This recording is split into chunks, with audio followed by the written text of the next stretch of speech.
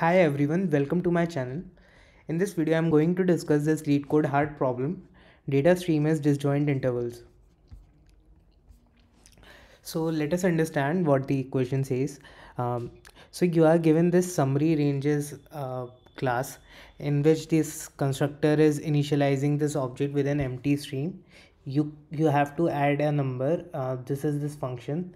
It adds the integer value to the stream and int get intervals is a function which is going to return a summary of the integers in the stream currently as a disjoint list of intervals. So basically like what you have to do is um, like let us suppose let us suppose you are given this stream. This let us say this add num function is called with value 1 then you and after that if get intervals function is called. Then you would have to return 1 comma 1 now if add num is added with 2 then you have and after which get intervals is called then you have to return 1 comma 2 you just need to combine the consecutive list of consecutive elements like if 1 2 3 are there then you have to return 1 2 3 1 2 3 we did solve its easy variant um, in the previous video so you could watch that for understanding what this question says. So basically what i am going to do in this question is like i am creating this map. And what this map shows like uh, this key value represents the starting of the interval. And this uh, value represents the end of this interval.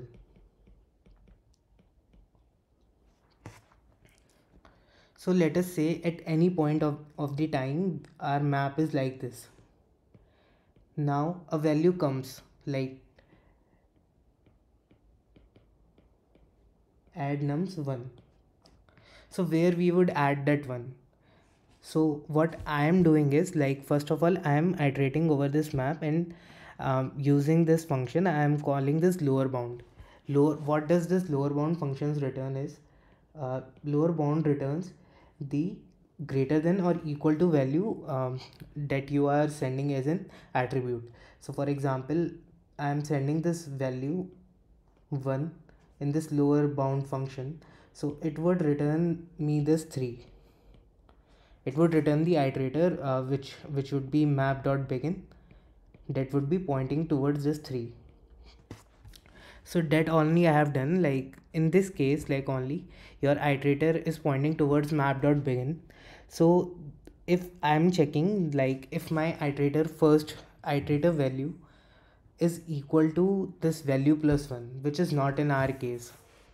Our value is 1 but our iterator first value is 3 so we won't be going into this if condition. If it would have been 2 2 comma 4 then you could combine this interval with this and you could set this 1 to 4 but it's not our in our case so we would move in this else position.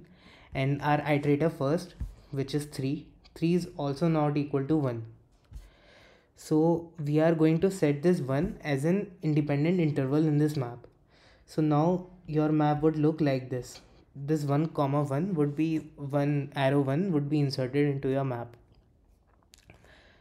Now there may be a scenario when your when your all values are smaller than the smaller than your current value.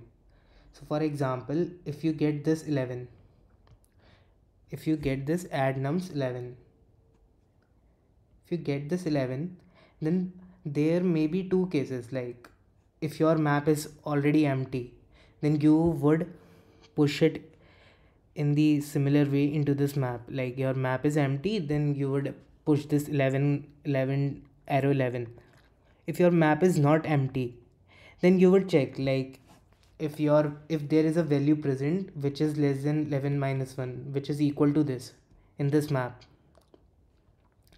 then then i could combine that value with it what i have done here is like i am checking from the reverse. Now like like if my second value is equal to value minus 1 then i could combine that interval with my current value.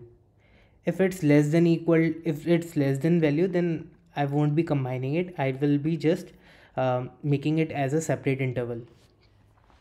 And this case uh, this else case occurs when you try to insert an element.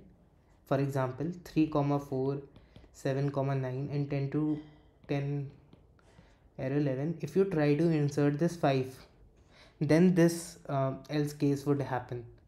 So you would be checking like if you could combine two intervals like 3 to 4 this 5 arrow 5 is there. If you could combine it with let us say uh, 6 comma 8 then you you could have combined these three intervals. So what i am checking like um, if i am checking like if my value plus 1 is equal to this my start value or end value minus 1 is equal to the previous iterator end value then I would marking my previous iterator second value as iterator second and then I would be erasing this map. And if it's not then I'll be checking like if I could left combine this like I could merge only these two intervals so yeah they are mergeable. So I will be doing this um, I would be marking it and I, I would be erasing it. And I then if that is also not the case then I would be checking if I could right merge this. Uh, like if there was any situation like this if um, 3 comma 3 6 comma 7 and this 5 would have come then I 5 um, this would have come then I could right merge it. So I then my map would have been looking like this. So for that I am doing this.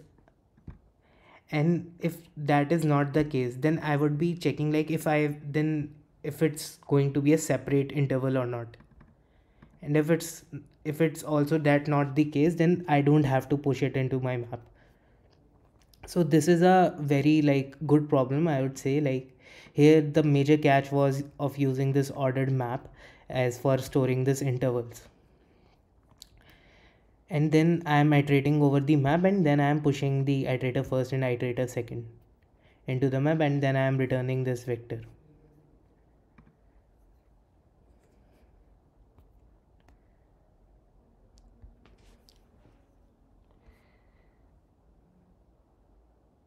So thanks for watching this video and if you have any queries you could post it into the comment section. I will try to answer that.